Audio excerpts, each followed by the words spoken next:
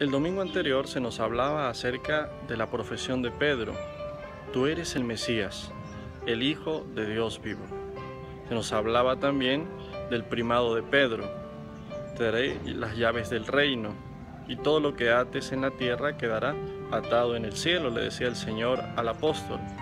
En este domingo, por el contrario, se nos habla de cómo Pedro se niega al seguimiento de Jesús de Nazaret. Pedro se niega a seguir al Cristo de la cruz. Pedro piensa en un Mesías glorioso. También a nosotros nos puede suceder. ¿Cuántas veces nos es tan fácil profesar nuestra fe, pero nos negamos al seguimiento real de Cristo Jesús?